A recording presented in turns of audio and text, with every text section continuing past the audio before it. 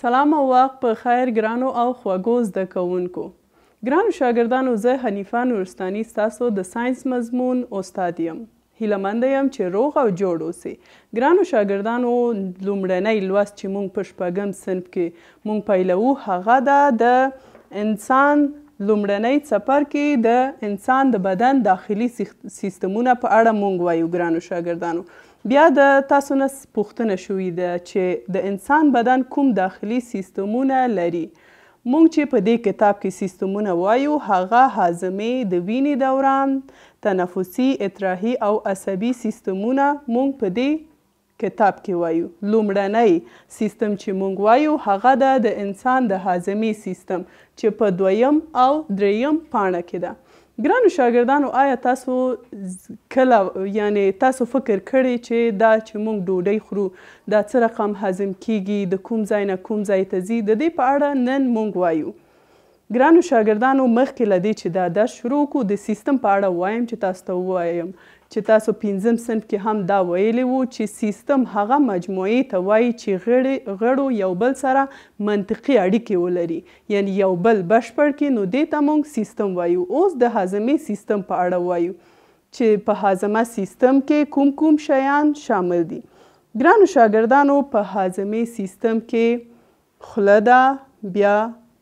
مری ده حلقوم ده بیا مری ده بیا معده ده بل کولمو ده چې په دې سیستم کې شامل ده او دلته دا د هضم لپاره یعنی د هضم کولو لپاره دا ټول یو ځای کېږي یو سیستم جوړوي چې زموږ خواړه چې موږ ډوډۍ خورو هغه هضم وکړي دلته بیا ځیګر او پانقراس هم دی چې دی په هضم کولو کې هغوی سره مرسته کوي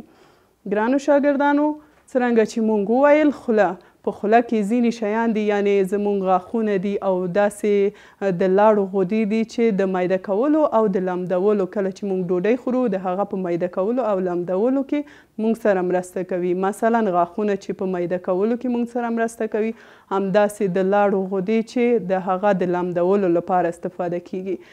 بیا د خولې نه حلقوم ته ځي، هماغه ډوډۍ بیا د حلقوم نه مرۍ ته او د هغه نه معدې ته ځي. ګرانو شاګردانو معده یو کڅوړه ده چې په هغه کې یعنې په یو فیصدي باندې هغه ډوډۍ هضم کیږي یعنې پنځوس فیصده بیا د هغه ځای نه کولمو ته ځي کولمو چې دوه برخې لري یو وړکۍ کولمو دي او بل غټو کولمو دي چې دا وړکۍ کولمو ته ځي، بیا هغه ډوډۍ په وړو کولمو کې څه کېږي؟ په بشپړه توګه هضم کېږي. دلته ځیګر او پانقراس هم دي چې د معدې تر څنګ هغوی هم هغه سره مرسته کوي تر څو چې هضم شي. بیا د دې نه هغه اضافه مواد چې نه هضم کېږي هغه خارجېږي.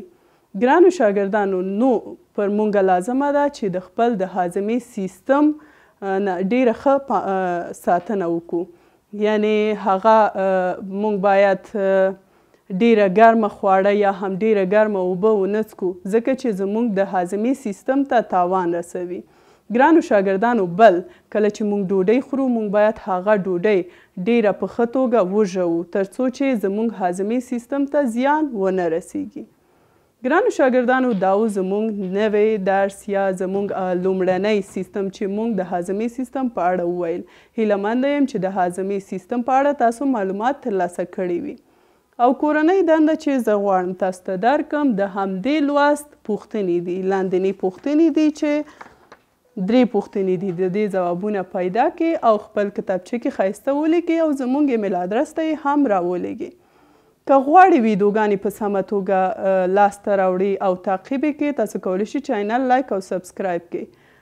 او که کوم پيشنهاد يا انتقاد لري تاسو کولی شي په کومينټ کې موږ سره شريک کړي تر بله جلسې پورې چې يو نوې موضوع سره ستاسو په چوپړ کې حاضر کيږم تاسو لوی او بخښونکي خدای ته سپارم الله پامان.